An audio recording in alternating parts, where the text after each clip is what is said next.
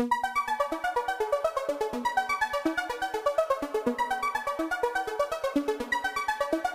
अल्लाम friends drama serial डंग की story बहुत ज़्यादा इंटरेस्टिंग हो चुकी है। या यूँ कहें कि इस ड्रामे की नेक्स्ट एपिसोड में एक बहुत बड़ा ट्विस्ट आ चुका है। अमल ने जो बोया बिल आखिर उसके सामने आना ही था। अमल को अब कोई नहीं बचा सकता, उसका बाप भी नहीं। सफीर भी उसे भरी अदालत में तलाक देने के बाद अपने भाई के हक में गवाही दे देता है। इस ड्रामे की नेक्स्ट एपिसोड का न्यू प्रोमो ऑनियर हो चुका है, जिसके मुताबिक हैदर अमल को अब उसी के अंदाज में ट्रैप करने वाला है। जैसा की आपने पिछले प्रोमो में देखा की प्रोफेसर की बीवी सायरा ने अदालत में अमल के वकील समेत सबको समझाने की कोशिश की की हरासमेंट का सबूत तो खुद वकील अपने लिए भी नहीं दे सकता। लेकिन चूँकि सफीर की गवाही के बाद भी अमल का वकील अपनी मौकला को बचाने के लिए हर किस्म के झूठ का सहारा लेता है और अमल भी अपने जुर्म को कबूल करने के लिए तैयार नहीं तो इस सिचुएशन में अमल से जुर्म कबूल करवाने के लिए और प्रोफेसर हमायूं को इंसाफ दिलाने के लिए हैदर के पास दूसरा कोई रास्ता नहीं बचता था। सफीर की हैदर के हक में गवाही देने के बाद हैदर अपने भाई को गले लगा लेता है की कोई तो उसका अपना उसके साथ खड़ा है, बाप नहीं तो भाई ही सही। वो ये इंसाफ की जंग अब अकेले नहीं लड़ रहा। हैदर अब बहुत प्लानिंग के साथ अमल को ट्रैप कर रहा है, क्योंकि अब की बार बात प्रोफेसर की और उसकी बीवी की बची कुची इज़्ज़त पे आ चुकी है। हैदर का दोस्त भी उसे समझाता है कि जिस हद तक अमल जा चुकी है वो तुम्हें बर्बाद करने के लिए कुछ भी कर सकती है। हैदर अमल को फ़ोन करके कहता है की मैं तुम्हारी तमाम शर्तें मानने के लिए तैयार हूँ। मिनाल को तलाक देने के लिए भी तैयार हूँ। मैं तुमसे मिलना चाहता हूँ। अमल मिलने के लिए राज़ी हो जाती है, क्यूँकी अमल के वहमो गुमान में भी नहीं होता की हैदर उसके साथ कुछ भी बुरा कर सकता है। जब अमल हैदर के साथ गाड़ी में बैठ जाती है तो उसकी खामोशी देखकर उसे कहती है की मुझसे कोई रहम की